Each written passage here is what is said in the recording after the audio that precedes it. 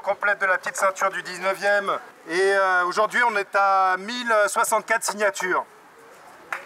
Bravo C'est un début, mais c'est encourageant. Euh, L'objectif est, bien d'interpeller les élus et de montrer qu'il y a un réel euh, enthousiasme euh, des habitants autour de ce projet.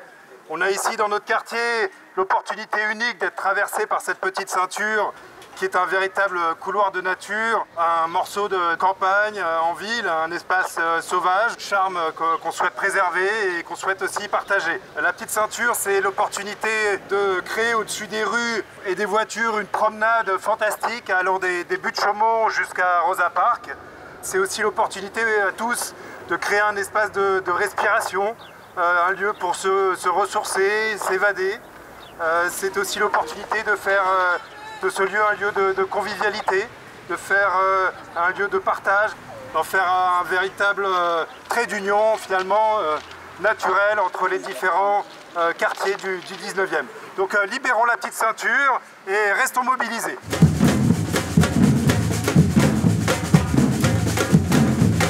Est là pour demander à la mairie qu'elle ouvre de nouveaux tronçons de la petite ceinture, puisqu'aujourd'hui dans le 19e, on a deux tronçons qui sont ouverts, mais il y en a d'autres qui sont fermés. Et donc en fait, on a une petite ceinture qui est discontinue, qui est morcelée, et qui est seulement ouverte à un tiers. Et donc euh, nous, ce qu'on demande, c'est euh, un peu plus d'égalité par rapport à d'autres arrondissements du Sud, comme le 16e arrondissement, le 15e, qui ont des tronçons qui sont ouverts largement. Eh bien, on demande d'être considéré euh, sur un même pied d'égalité que ces arrondissements pour pouvoir euh, permettre aux habitants du 19e et même d'autres arrondissements de pouvoir se promener librement sur la petite ceinture et de profiter de cet endroit qui est vraiment exceptionnel, où il y a de la végétation, il y a de la biodiversité, euh, c'est calme. Les familles, les enfants ont besoin de ces espaces-là, le Covid l'a montré, et donc on demande tout naturellement un petit peu plus d'espace moins urbain, moins bétonné, et la petite ceinture, elle offre ça, et donc euh, c'est important que la mairie entende cette demande.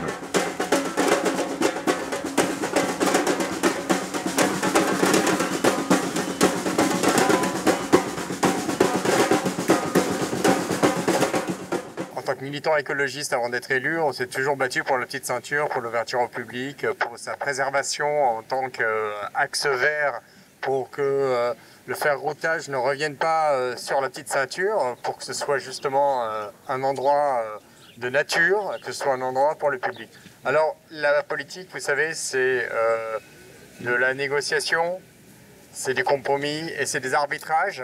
Il y a une petite enveloppe pour la petite ceinture sur tout Paris.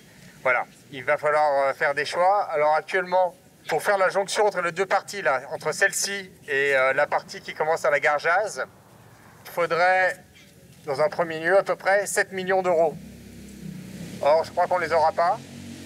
Donc d'ici, c'est-à-dire de la grille là-bas, jusqu'au pont sur le canal, le pont cracker comme on l'appelle, ça nous coûterait 1 million d'euros. Le pont tout seul, il coûterait 3 millions d'euros à mettre euh, aux normes. Et après à nouveau 3 millions d'euros pour faire du pont jusqu'à la gare.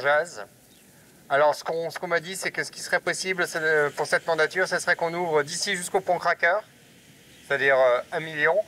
Et puis moi je dis pourquoi on n'ouvrirait pas aussi euh, de la rue Petit jusqu'ici? Ça nous ferait euh, un joli tronçon.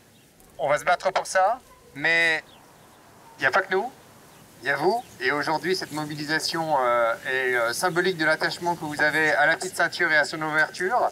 Et euh, plus vous serez mobilisés, plus on aura d'arguments dans le 19e pour négocier avec l'hôtel de ville pour avoir plus, plus de tronçons ouverts, plus de crédits.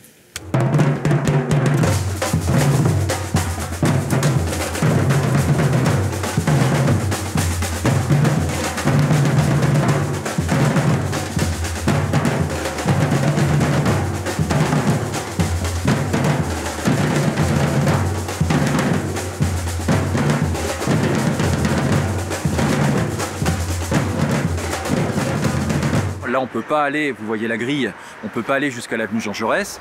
Et donc, nous, ce qu'on demande, c'est euh, juste la rue Petit Parce qu'il y a une rampe qui existe et puis euh, si on demandait plus que ça, euh, en termes de coûts, ce, ce, serait compliqué. Donc on fait une demande qui nous semble raisonnable.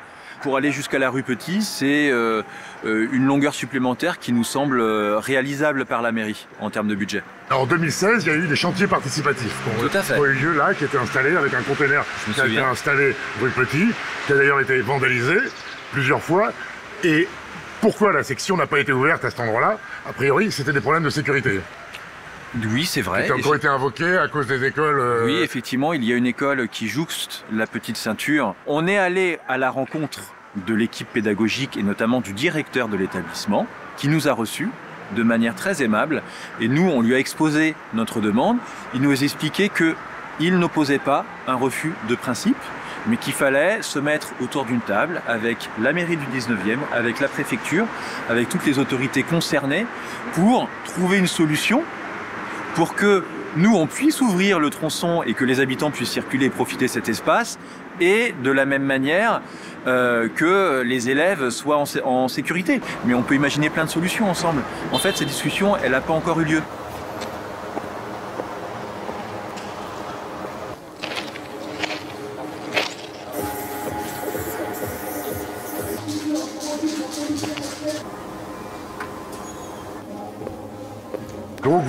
Faites l'impasse uniquement sur les buts de Chaumont, quoi. Ouais, parce que là, on, est conscient que les buts de Chaumont, il y a, un tunnel, euh, c'est un tronçon qui est vraiment compliqué, donc euh, on va pas, on ne demande pas l'impossible non plus à la mairie. Euh, si ça doit se faire après 2026, ce tronçon-là, on l'entendrait parfaitement.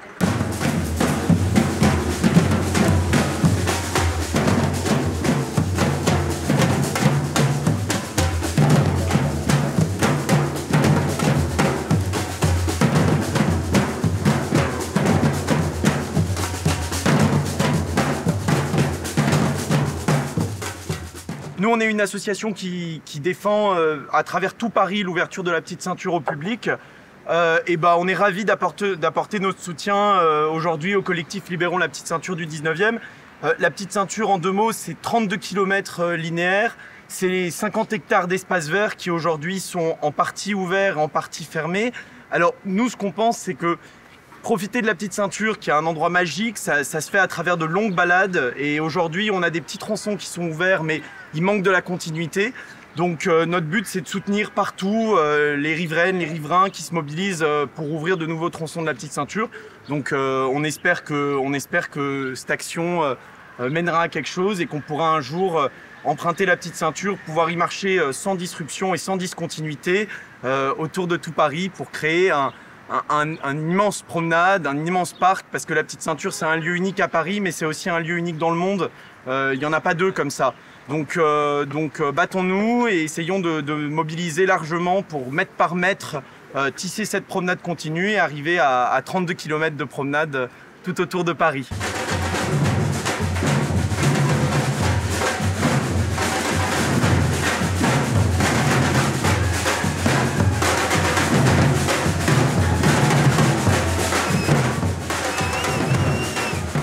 Alors c'est sûr que le, petit, le 19e est un arrondissement compliqué. Euh, les ouvrages d'art font que euh, c'est particulièrement compliqué ici d'ouvrir au public.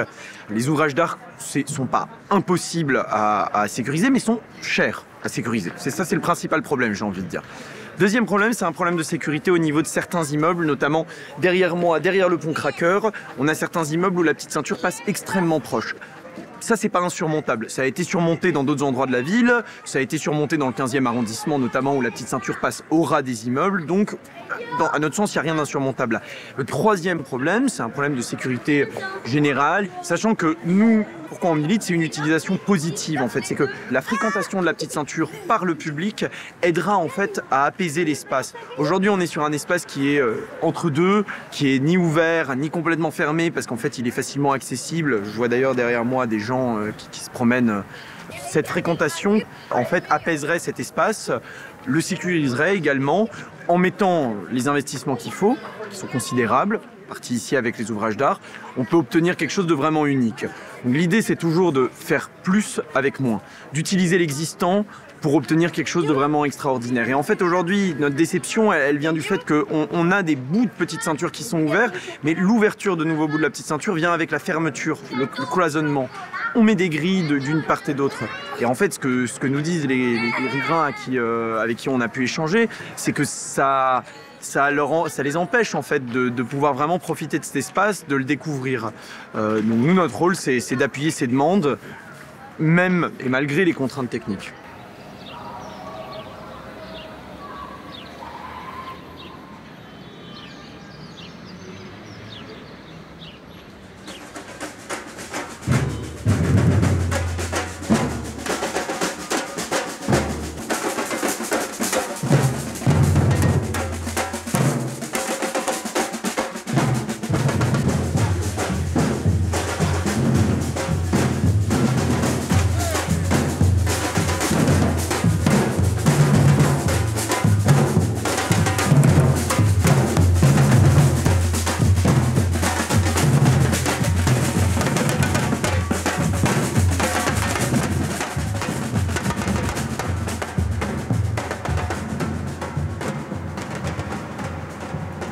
On n'est pas non plus irréaliste, c'est-à-dire que euh, on serait euh, capable d'entendre que euh, une ouverture complète coûterait très très cher, donc on peut faire ça par étapes.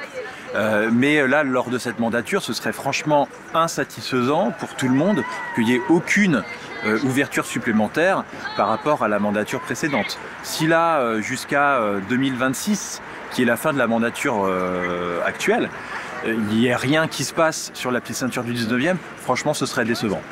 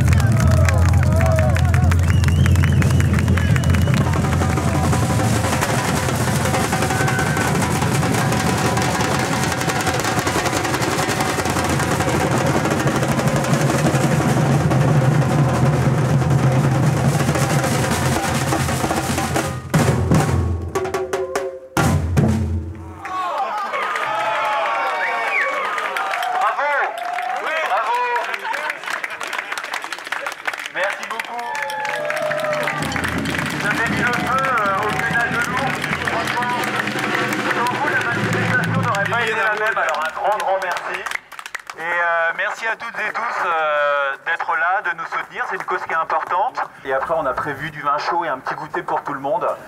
Voilà. Après l'effort, le réconfort.